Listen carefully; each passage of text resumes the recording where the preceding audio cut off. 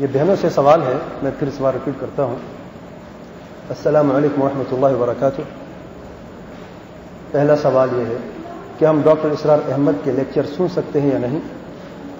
अगर उनके लेक्चर में कोई गलती हो तो हम कैसे पहचानें?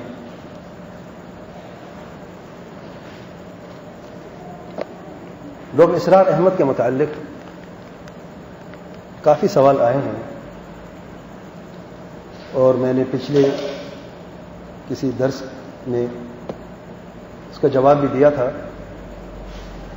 और डॉक्टर साहब के सिर्फ़ एक मसले का रद्द मैंने किया था। वजूद का अकीदा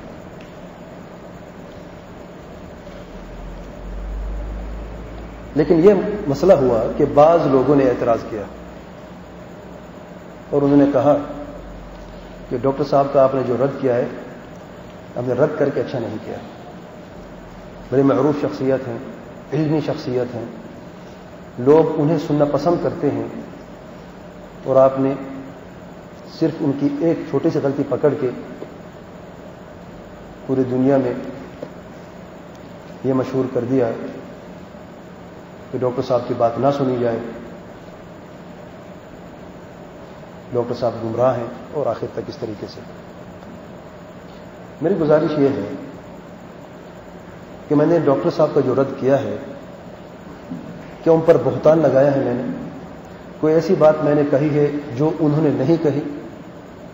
फिर तो बात हक है। और अगर यह साबित है, या ये साबित हो जाए कि मैंने वो बात उनकी तरफ़ मंसूब की है जो उन्होंने नहीं की तो फिर मैं अल्लाह ताला के सामने जवाब दे दूँ। और मैंने जवाब अल्लाह ताला को देना है। कोई शख्स साबित कर दे कि मैंने उन पर तोहमत लगाई है वहदत वजूद के मुतालिक उन्होंने वो बातें नहीं की जिनके मैंने रद्द किया है। तो मैं सबसे वादा करता हूँ, मैं सबसे पहले अल्लाह ताला से तोबा करूँगा, माफ़ी मांगूँगा और डॉक्टर साहब से माफ़ी मांगूँगा और जिसने सुना है पूरी दुनिया में, मैं सबसे माजरत करूँगा। लेकिन अगर यह साबित हो जाए, जो उन्होंने कहा है, वो सही है और उनका यही अकीदा है, जैसे कि उनकी जुबानी मैंने भी सुना और आप लोगों ने भी सुना कि वहदतुल वजूद का अकीदा इबन अरबी का फलसफा वजूद हक है और इबिन तैमिया ने उनको जिंदीक कहा गुमराह कहा गलत कहा उन्हें ऐसा नहीं कहना चाहिए था और इबन अरबी का फलसफे वजूद हक है मैं यहाँ पर यह बात नहीं करूँगा कि इबन अरबी का क्या फलसफे वजूद है। यह बात मैं पिछले रद में बयान कर चुका हूँ। मैं अभी दोबारा बात नहीं करूँगा। लेकिन मैं ये गुजारिश ज़रूर करूँगा कि जिसने ये एतराज़ किया है और ये कहा है कि अगर छोटे से मसले में उनसे गलती हुई उनसे यह सवाल करता हूँ, छोटा मसला आप किसे कहते हैं शरीयत में? छोटे मसाइल कौन से हैं और बड़े मसाइल कौन से हैं? अगर छोटा मसला आप समझते हैं कि अल्लाह ताला की ज़ात के मुतल गलत अकीदा रखना ये छोटा मसला है तो फिर मैं आपसे गुजारिश करूँगा, आप अपना दिल ढूंढें आपको कोई दिल है या नहीं। क्योंकि रब्जुल्जला सुबहान तला की शान में जो बद अकीदगी रखता है मैं समझता हूँ कि उसका दिल ही नहीं।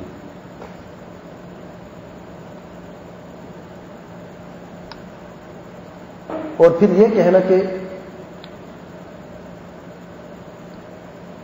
यह अल्लाह का शुक्र है कि जिसने एतराज़ किया, उसने यह नहीं कहा कि मैंने तोहमत लगाई है। अलहमदिल्ला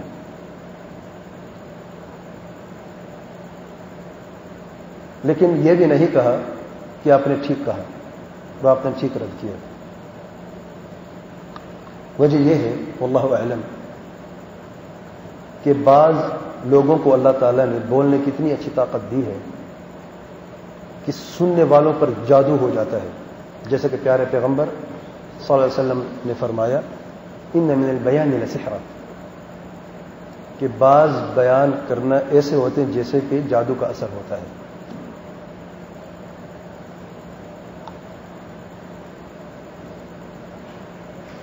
लेकिन इस हद तक पहुँच जाना कि हक और बातिल की तमीज ना हो। जिनके साथ मोहब्बत और दिल लग जाए, उन्हीं की बात हक नज़र आती हो और उन्हीं की बात को हक समझा जाता हो। यह गुलू है, हद से गुजरना है जिससे प्यारे अलैहि वसल्लम मना फरमाया है। या कुमल गुलू गुलू से बचना। रहेगी यह बात कि सिर्फ़ एक गलती हुई। अब तो यह मालूम है कि छोटी गलती नहीं है और मेरा, मुझे अल्लाह ताला से उम्मीद है कि एतराज़ करने वालों ने जब ये बात की है तो उन्हें थोड़ी सी अब समझ आ गई होगी कि ये छोटी गलती नहीं है। खालिक और मखलूक को एक जान वजूद की हकीकत यह है कि खालिक और मखलूक ए ला मौजूद है अल्लाह मेरे भाई छोटी बात नहीं है। यह गुस्ताख अल्लाह ताला की शान में है। यह फलासिफा के अकवाल हैं। सुनत और जमात में से अलग कसम कह रहा हूँ, किसी भी आलिम का कौल नहीं है। सुनत और जमात के अकायद की किताबें मैं इंशाल्लाह बयान करता हूँ बाज। कोई भी इंसान साबित कर दे कि अहल सुन जमात के उलमा में से किसी ने यह अकीदा रखा है तो हम उसके जवाब दें। पहले बेहतरीन तीन सदियों से लेकर आज के दौर तक किसी एक अहल हदीस सलफी आलिम का कौल दिखा दे सुन जमात के उलमा के अकवाल दिखा दे। मैं दो नहीं कह रहा, एक की बात कर रहा हूँ, कहीं पे दिखा दें कि वहद वजूद का अकीदा हक है, उसके हम जवाब दें मैं कसम खा के वहाँ आपको कहीं नहीं मिलेगा। हाँ मुतजिल की किताबों में मिलेंगी, जहम की किताबों में मिलेगी।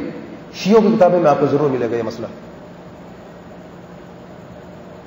और यह भी ज़रूर मिलेगा आपको अहलसुन जमात के उलमा की किताबों में कि इस मसले का रद्द किया गया है। और जो ये अकीदा रखते हैं, उनको अहल बिदअ में शुमार किया गया है। और इनसे दूरी इख्तियार की गई। लोगों को उनसे मना किया गया। उनकी बात सुनने से भी मना किया गया। उनके साथ उठने बैठने से भी मना किया गया। रहेगी यह बात कि सिर्फ़ एक ही बात मैंने पकड़ी है, बात सिर्फ़ एक की नहीं है। मैंने तो यह समझा कि समझदार के लिए इशारा काफ़ी है। जो सबसे मुझे अहम बात लगी, मैंने वही बयान की। वहदत वजूद के मुतालिक। अगरचे डॉक्टर साहब ने उसी दर्स में, जिसमें वहद वजूद का ज़िक्र है और बिन अरबी की उन्होंने तारीफ़ की है उन्होंने अल्लाह ताला के असमाओ सिफात में भी गलती की है। और बाज गलत बयानी भी की है। अब आपने अगर कहा है तो फिर मैं ये भी बयान कर दूँ। वो फरमाते हैं, अब वह वजूद को साबित करने के लिए एक गलती का इरतिकाब करने के बाद दूसरी गलती का इरतिकाब।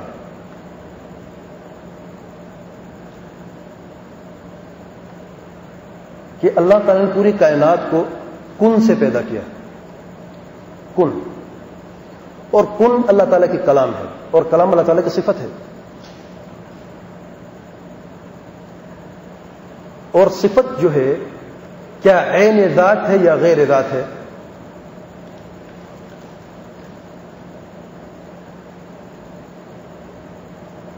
फिर फरमाते हैं कि इस पर इजमा है कि ना ऐन ज़ात है, ना गैर ज़ात है।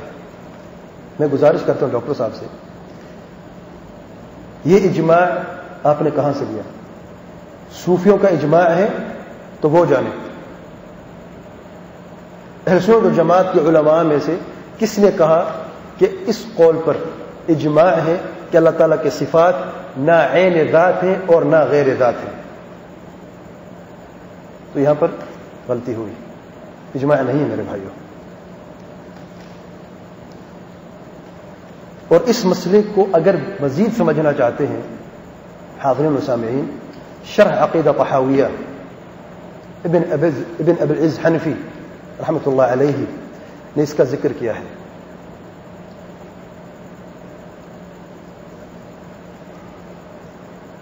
और यह फरमाया है कि अल्लाह ताला के सिफात न आइन ज़ात है न गैर ज़ात है यह कहा जाता है। लेकिन तफसील बयान करना ज़रूरी है। और काश डॉक्टर साहब इस तफसील का भी ज़िक्र करते, जो सुंद जमात की किताबों में मौजूद है। यह तफसील अहले कलाम की किताबों में मौजूद नहीं है। काश के डॉक्टर साहब सिर्फ़ यही किताब पढ़ लेते शर अकीदा तहाविया तो मेरा नहीं ख्याल कभी वो यह गलती करते। वो फरमाते हैं, तफसील ज़रूरी है कि मकसद क्या है आपका? कि सिफत न ए निजात है न गैर निजात है? अगर तो आपका मकसद यह है कि अल्लाह ताला के सिफात जो है, वो ज़ात के साथ मिली हुई है और ज़ात और सिफत में कोई फ़र्क नहीं है। एक ही चीज़ है, माना भी एक है, लफ्ज़ भी एक है, तब तो गलत है। अल्लाह ताला की ज़ात और है, और माना और है सिफात का। अल्लाह ताला की कलाम अल्लाह ताला की ज़ात है क्या? नहीं। अल्लाह ताला की कलम अल्लाह ताला की सिफत है और अल्लाह ताला की ज़ात अल्लाह ताला की ज़ात है। तो इस एतबार से गलत है। लेकिन अगर आपका यह मकसद है कि अल्लाह ताला के सिफात जो है, अल्लाह ताला की ज़ात के साथ मौजूद हैं, लेकिन माना और है सिफत का और ज़ात का माना और है, तब तो बात दुरुस्त है। यह कौल सही है। तो ज़ात सिफात जो है अल्लाह ताला की ऐन ज़ात है या नहीं? तो, तो यह तफसील ज़रूरी है। तो जिन उलमा ने यह फरमाया कौल दुरुस्त है उन्होंने यह कैद भी लगाई है। तो इसमें इजमा आता है लसुन जमात का। इस कैद के साथ आप बयान करें तब तो बात दुरुस्त है। लेकिन यूँ ही खुला छोड़ दें आप कि ना ऐन दात है ना गैर दात है। तो आपने एक गुमाही का रास्ता खोला है और वो है वहदतुल वजूद की दलील आप पेश कर रहे हैं। वो कैसे? डॉक्टर साहब फरमाते हैं कि जब कुल अल्लाह ताला का सिफत है और ना ऐन दात है, ना गैर दात है मतलब क्या हुआ? याद है? अब समझे जरा। कायनात कौन से पैदा हुई। कुन अल्लाह ताला का सिफत है। और सिफत, यानी यह कायनात। ये कुल कायनात बन चुके हैं सारी, जो अल्लाह की सिफत है वो कायनात बन गई है। और क्योंकि कुन ना ऐन दात है, ना गैर दात है तो कायनात भी ना ऐन दात है, ना गैर दात है। अच्छा ये समझ ऐन दात नहीं है। गैर दात नहीं क्या मतलब है? कि अल्लाह ताला की जात का हिस्सा है कि नहीं? यही वहदत वजूद है।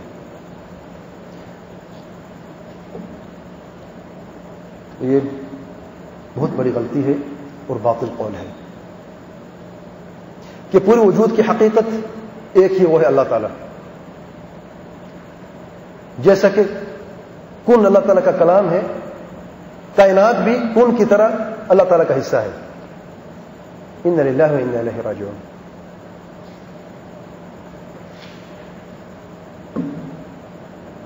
फिर आगे फरमाते हैं, ये तीसरी गलत बात जो है कि दाऊद गजनवी अहल हदीस हैं और उन्होंने एक मतलब यह कहा, इबन अरबी रहमत और मुजद अलफसान रहमत दोनों के लिए रहमत का लफ्ज इस्तेमाल किया। फिर फरमाते कि एक मरतबा दावत पर मुझे बुलाया गया। यानी उनकी दावत हुई तो मुझे भी बुलाया गया, क्योंकि मैं उनका दामाद था जिन्होंने बुलाया है उनको। वहाँ पर उनसे मेरी मुलाकात हुई तो मैंने उनसे ये पूछा कि बड़ी अजीब बात है, आपने दोनों का नाम लिया और दोनों के मुतालिक कहा रहमत है फरमाते हैं, दाऊद गजनवी के आँखों में आँसू आ गए। और उन्होंने कहा कि मुजद अलिफसानी ने अपनी मखतूतात में यह लिखा था कि हम वो हैं जो इबन अरबी के दस्तरखान के टुकड़ों पर पले हैं, या उनके टुकड़े खाते हैं। ये इतनी बड़ी इलमी शख्सियत है। मेरी गुजारिश यह है, जो शख्स यह कहता है, वो अल हदीस नहीं है। याद रखें। जो ऐसे बिदायती के मुतालिक ये अल्फाज कहे रहमत ही जिनके उलमा ने हमेशा रद्द किया है सलव सालहीन ने रद्द किया है,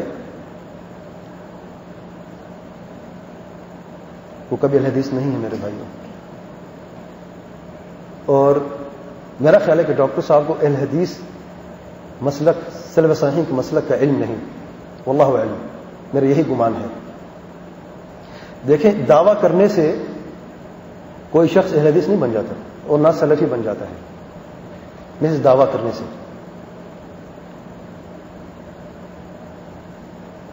दावा करने वाले बहुत हैं, लेकिन पहचान क्या है? पहचान उसका कौल और फेर उसका किरदार उसका किरदार है। जो शख्स यह दावा करते कोई हदीस है, लेकिन हदीस पे अमल नहीं करता, यह हदीस को अपनी ख्वाहिश नफ्स की बुनियाद पर समझता है तो अल हदीस नहीं है।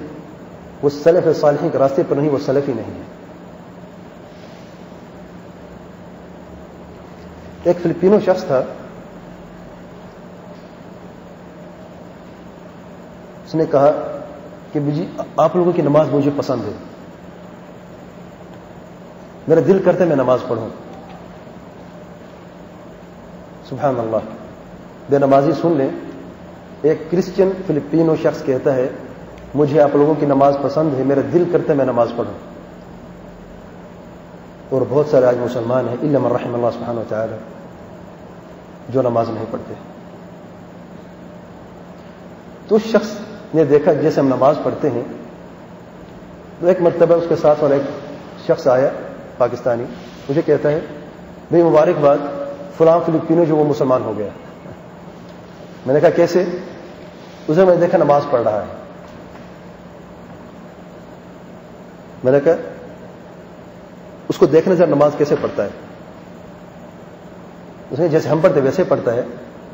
मैं कैसे कल देखना? क्योंकि मुझे पता था कि वो नमाज़, उसने मुझे बताया था कि नमाज़ छुप के पढ़ता है और एक रकत पढ़ता है।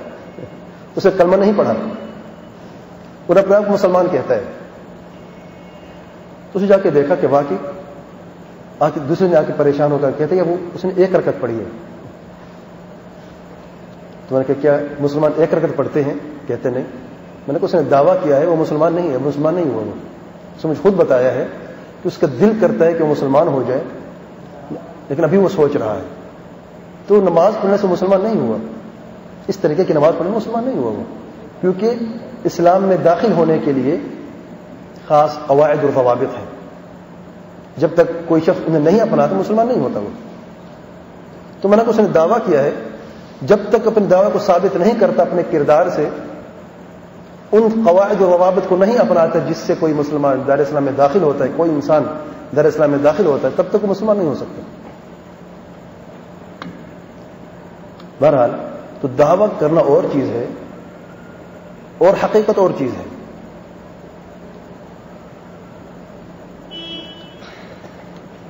और ऐसी गलती डॉक्टर जाकिर नायक साहब से भी हुई। वो फरमाते हैं कि सलफियों के बहुत सेक्ट हैं, बहुत सारी सेक्ट्स मौजूद हैं। उनमें से कोई मदखली सलफी हैं, कोई कुतबी सलफी हैं, कोई सरूर सलफी हैं। मेरी गुजारिश ये है, और ये फरमाते हैं, डॉक्टर साहब को मैं इन सबसे मिला हूँ। मैं सऊदी अरब जाता रहता हूँ। मैं इन सबसे हूँ सबसे मुलाकात हुई है। अल्हम्दुलिल्लाह, मैं सबसे मिला हूँ। और यह मुझे पता चला कि सेल्फियों की मुख्तलिफ़ सेक्ट्स हैं। इनमें भी ये तकसीमत मौजूद हैं। मेरी गुजारिश है डॉक्टर साहब से, कि आपका यह कहना कि सेल्फियों में सेक्स मौजूद है, ये गलत बात है। पहली बात यह है क्योंकि सलफियत का एक ही रास्ता है और वो बिल्कुल वाजह और नुमाया है। जो लोग कहते हैं, हम सलफी हैं और उस रास्ते को नहीं अपनाते, वो दावा करते हैं, लेकिन सलफी नहीं और हर दावा करना, करने वाला क्या सच्चा होता है? नहीं। सच्चा कब होता है? जब उस दावे को साबित करे अपने किरदार से, अपने कौर और अमल से। आपने कहा, सुरूरी सलफी हैं, कुतबी सलफी हैं। कुतबी सलफी कौन है? कुतबी हैं, सलफी नहीं है, मैं भी साबित करता हूँ। सैयद कुतुब की पैरवी करने वाले। वो कहते हम सलफी हैं। लेकिन सैयद कुतुब के रास्ते को अपनाया।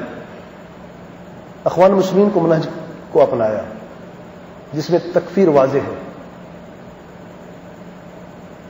वो नमाज़ पढ़ते हैं, नमाज़ नबवी लेकिन जिहाद के मुतालिक कहते हैं, नहीं। जिहाद करेंगे अपनी ख्वाहिश के मुताबिक। हमारी गुजारिश यह थी उनसे कि आप जैसे कि नमाज़ नबवी पढ़ते हो, वैसे जिहाद नबवी भी करो। तोहीद में वो अच्छे हैं, तोहीद में। लेकिन अकीदे में गलती की है, उस अकीदे में गलती हुई है। तो हर मुहिद जो है याद रखें, हर मुहिद का ज़रूर है कि अकीदा दुरुस्त हो, क्योंकि अकीदे में तोहीद के साथ साथ और भी चीज़ें होती हैं। मुसलमान के अकीदे में तोहीद सबसे पहली और बुनियादी बात है। फिर तोहीद कामिल के लिए अरकान ईमान जैसे ज़रूरी हैं, उस इसी तरीके से अरकान ईमान की मुतमात भी ज़रूरी हैं, जिससे बहुत सारे मुसलमान गाफिल हैं।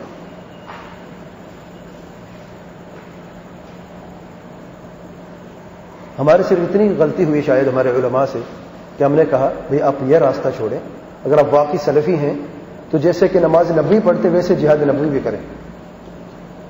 और हुक्मरान की फर्मा बरदारी फिर गैर मासीत सुबहाना अल्लाह तला मासीत के अलावा ये अहलजुनत अहल सुनत और जमात के अकीदे की बुनियादों में से एक बुनियाद है। इसी को थामे रखो। कहते नहीं। ये हुक्मरान अल्लाह ताला के नाजिल करदा फैसले के खिलाफ फैसला करते हैं यह काफिर है। उन्होंने सलफ साहिन के रास्ते को छोड़ा। उतनी बन गए वो। अगर सलफियत का दावा करते हैं तो वो दावेदार है। वो हमें दिखाएँ, सलफ सालहीन में से किसने कहा है? मैं दो नहीं, एक की बात करूँ, एक कौल दिखा दें, सलफ सालहीन में से। किताबें मौजूद हैं, किसी एक ने कहा हो कि हुक्मरान जो अल्लाह ताला के नाजिल करदा फैसले के खिलाफ फैसला करते हैं, वो काफिर है, मुतलकन काफिर है। ये हुक्मरान की फर्मबरदारी नहीं की जाती। या जालिम फासिक हुक्मरान की फर्मबरदारी नहीं की जाती। एक तो दिखा दें। अगर नहीं दिखा सकते तो याद रखें, सलफियत का ये रास्ता है, इन्होंने ये रास्ता छोड़ा है तो ये सलफ, सलफी नहीं है। ये दावेदार है। इसी तरीके से मोहम्मद सुरूर, जो सुरूरी हैं, उसका भी अपना मनहज, अपना तरीका है। वक्त नहीं कि मैं उसके बारे में कुछ कहूँ, लेकिन ये समझ लें कि उसने भी सर्व साहिन के रास्ते को छोड़ा है। आपको तहकीक करनी है, आप उनका मनहज देखें, उनका रास्ता देखें और कोरिलेट करें सर्व सालहीन के रास्ते से। अगर उनके मुताबिक है तो वाकई सलफी है। उनके मुखालिफ है तो सलफी कभी नहीं हो सकती। फिर आपने कहा, मदखली सलफी। ये शेख रबी बिन हादी मदखली के पैरवी करने वाले हैं। ये उनके मनहज को अपनाने वाले हैं। उन्होंने कभी नहीं कहा हम मदखली सलफी हैं, याद रखें। वो कहते हैं सलफी हैं। और कुतुबी नहीं कहा हम तो कुतुबी सलफी हैं। और न सरूर कहा हम सरूरी सलफी हैं। ये तो लोग कहते हैं उनके मुतालिक। सब कहते हैं हम सलफी हैं। सब कहते हैं। मुखालिफी ने उनको नाम दे दिए। मुखालिफी ने उनको मुख्तलिफ़ नाम दिए। तो Sheikh Rabi bin Hadi Madkhali Hafizullah Medina नबविया के उलमा में से एक बड़े मरूफ आलिम हैं और उनका जो स्पेशलिटी है, वो है इल्म हदीफ और जर्ह और तदील के वो आलिम हैं। उन्होंने सलफ सालहीन के रास्ते को वाज तौर पे बयान किया कि सलफ सालहीन का रास्ता क्या है और जो लोग दावा करते हैं, उनका रास्ता क्या है। और दोनों में क्या फ़र्क है और कौन वाकई सही सलफी है और कौन सलफियत का दावा करने वाला है झूठा है। और उनकी किताबों में से सैद कुतुब की किताबों में से बयान किया और मोहम्मद सुरू की किताबों में से बयान किया, मौजूदी साहब की किताबों में से बयान किया और जितने भी मुखालिफी सख्त मौजूद सबकी किताबों में से हवाले बयान कर करके वाज तौर पर बयान किया। और यह साबित किया कि सलफ साहिन का रास्ता यह है और इन्होंने मुखालिफ रास्ता अपनाया है। तो मैं डॉक्टर साहब से गुजारिश करता हूँ कि आप जाने सलफी कौन है। हर दावा करने वाला सलफी नहीं है।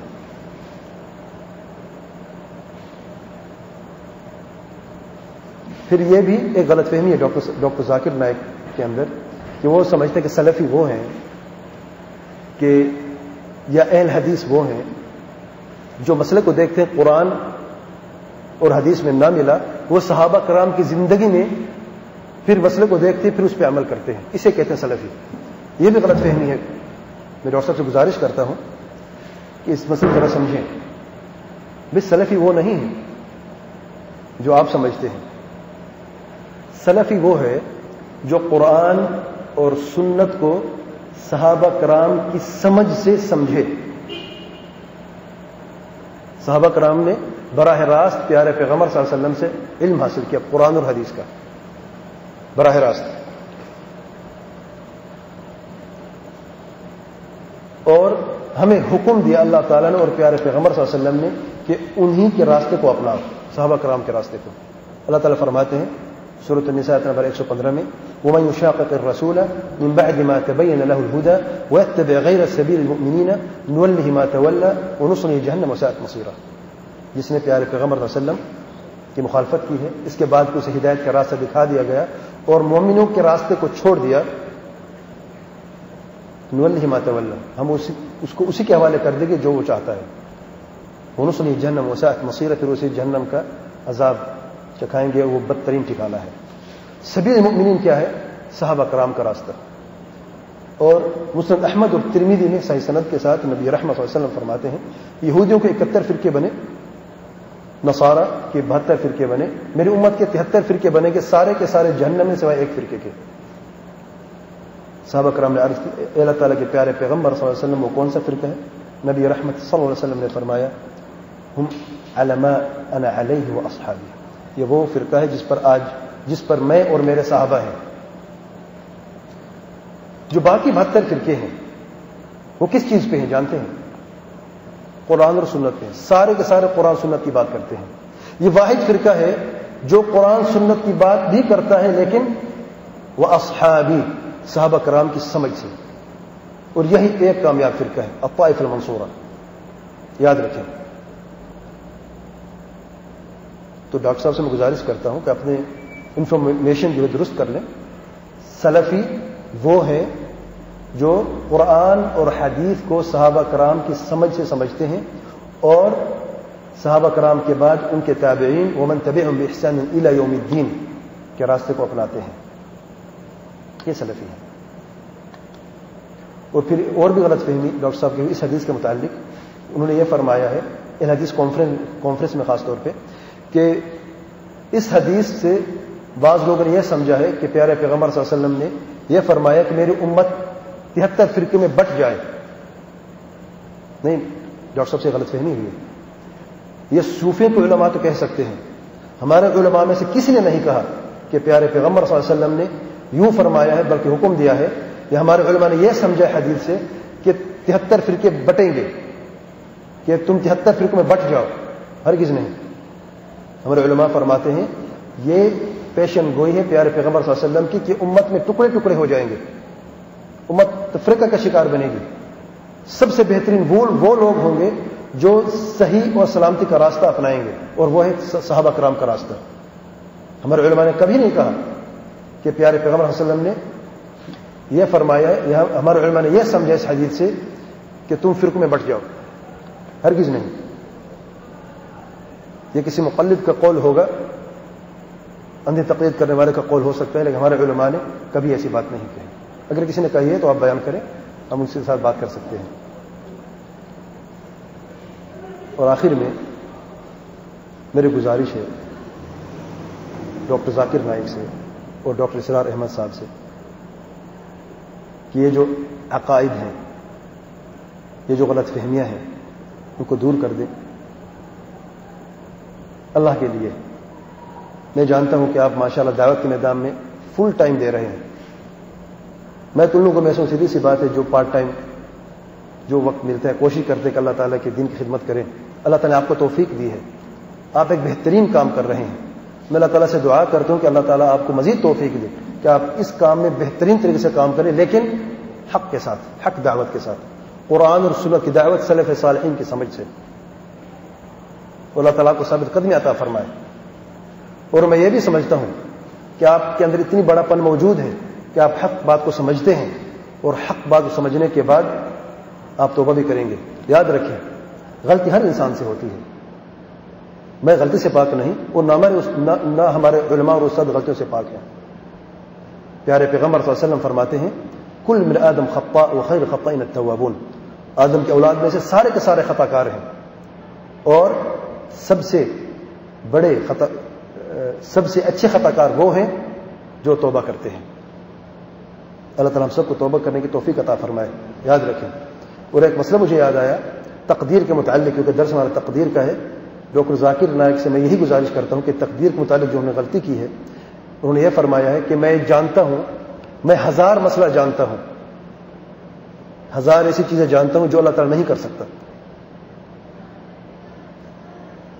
और ये इसलिए मैं कह रहा हूँ ताकि लोग अल्लाह ताला की ज़ात को समझें, अल्लाह ताला क्या है। डॉक्टर साहब, आप क्या समझाना चाहते हैं लोगों को? नवूद बिल्ला अल्लाह ताला आजिज है। आप हज़ार मसला जानते हैं जो अल्लाह ताला नहीं कर सकता। आप लोगों में क्या पैगाम देना चाहते हैं? मैं जानता हूँ, आप ये कहते होंगे कि मुझे तो यकीन है, लेकिन लोगों को समझाना है। लोगों को आप किस तरीके से समझाना चाहते हैं? क्या यही तरीके है सुनत और जमात का? क्या यही तरीके है प्यारे पैगंबर वसल्लम ने जिस तरीके साहबा कराम को समझाया है, इसी तरीके से समझाया है? कि अल्लाह ताला हज़ार चीज़ें नहीं कर सकता। क्या यही रास्ता है। फिर मिसालें बयान की हैं कि अल्लाह ताला लंबा इंसान पैदा कर सकता है, छोटा पैदा कर सकता है, लेकिन लंबा और छोटा एक वक्त में पैदा नहीं कर सकता। अल्लाह ताला मोटा इंसान पैदा कर सकता है, दुबला पतला इंसान पैदा कर सकता है बैक वक्त मोटा दुबला पतला पैदा नहीं कर सकता। और आखिर तक, वक्त नहीं कि मैं मजीद बयान, पूरी बात बयान करूँ और फिर अल्लाह ताला का फरमान इन अल्लाह कदीर की तवील पेश करते हैं अपने इस कौल को सही करने के लिए कि अल्लाह ताला हर चीज़ पर कादिर है। वाज लफ्ज है। कुरान का तर्जमा क्या है? अल्लाह ताला हर चीज़ पर कादिर है। फरमाते अल्लाह ताला हर चीज़ पर कवि है। ताकत रखते हैं। सुबहान अल्लाह ताकत रखते हैं और कादिर हैं। दोनों में फ़र्क है कि नहीं? अगर मकसद होता अल्लाह ताला का ताकत रखते हैं तो क्या हर इसका अल्लाह ताला यूँ फरमाते इन अल्लाह कवी इन अल्लाह अज़ीज़। ये फरमान होता इन अल्लाह कदीर वाज लफ्ज है अल्लाह ताला हर चीज़ पर कादिर है। और दूसरी बात यह मेरी गुजारिश है आपसे, कि अल्लाह ताला फरमाते इन अल्लाह शई इन कदीर पहले आप यह साबित करें कि दुबला और पतला और मोटा बैक वक्त चीज़ है। चीज़ साबित करें फिर आप ये कोशिश करें कि अल्लाह ताला कादिर है कि नहीं? मुझे बताएँ, दुनिया में कोई ऐसी चीज़ है? चीज़। कोई ऐसी चीज़ मौजूद है जो लंबी और छोटी एक वक्त में हो? जब आप ये नहीं साबित कर सकते कि ऐसी चीज़ मौजूद है तो फिर यह ज़रूरत करना कि अल्लाह इस पर कादिर नहीं है। मैं नहीं समझता कि यह किसी अकलमंद की बात है। यह इस बात, ये ऐसी बात के में कोई अकलमंद या कोई हिकमत है।